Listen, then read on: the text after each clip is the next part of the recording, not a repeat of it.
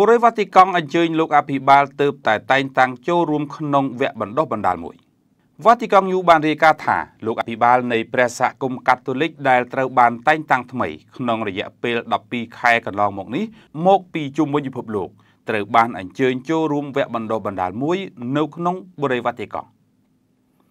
វគ្គបណ្ដុះបណ្ដាលនេះត្រូវបានគេដឹងថាបានចាប់ផ្ដើមកាលពីថ្ងៃទី15 ហើយទើបតែបញ្ចប់កាលពីថ្ងៃទី21ខែកញ្ញាឆ្នាំ2024វគ្គបណ្ដុះបណ្ដាលនេះរៀបចំដោយក្រសួងទទួលខុសត្រូវទំនាក់ទំនងជាមួយនឹងលោកអភិបាល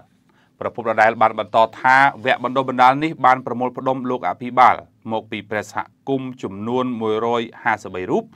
មកពី46ប្រទេសដោយរួមទាំងលោកអភិបាល ចំនួន25រូបដែលគ្រប់គ្រងដោយក្រសួងទទួលបន្ទុកព្រះវិហារបុព្វា ក៏ដូចជាលោកអភិបាលដែលទើបតែតែងតាំងថ្មីចំនួន5នាក់ដែលមានទំនួលខុសត្រូវនៅក្នុងលេខាធិការដ្ឋានច្បាប់ព្រះសាគមការជួបជុំគ្នានៅខែកញ្ញាសម្រាប់លោកដែលទើបតែតែងតាំងថ្មីបានคล้ายជាលក្ខណៈធម្មតានៃការវិភាគប្រចាំឆ្នាំរបស់សន្តអាសនៈ